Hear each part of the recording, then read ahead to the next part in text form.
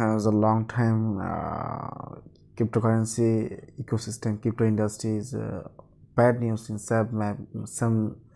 uh, Sam Bankman-Fried is under the uh, supervisions in uh, Bahamas. Looking to the fleet in Dubai. You know uh, former CEO of the FTX exchanges uh, already this exchange full dump and big rumors big scam in crypto industries uh,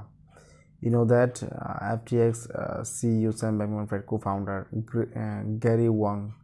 director engineer of Nishad Singh understand the payments are the under supervisions by the local authorities.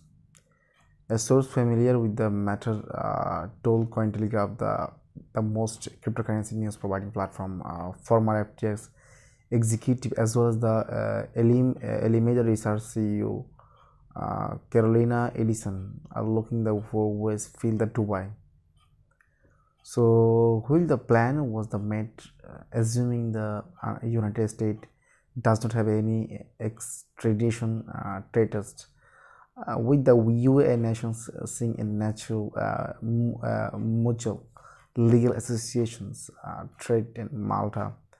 uh, back on February um,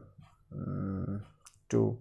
22 24 to 2022 is against uh, criminals okay? Uh, the right now the uh, sim gallery initial under the supervision of bah uh, Bahamas, uh, Bahamas, which the main uh, means with hard level say the source of um, the reminds any, anyone's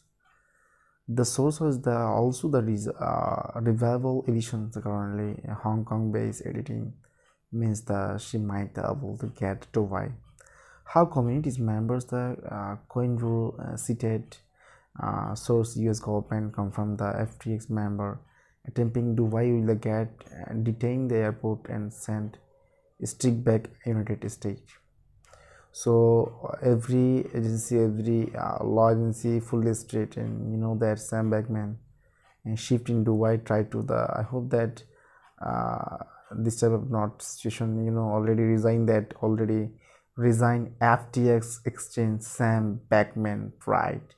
Big cryptocurrency exchange uh, fully full 10 billion dollar uh, loses already lost this exchanges okay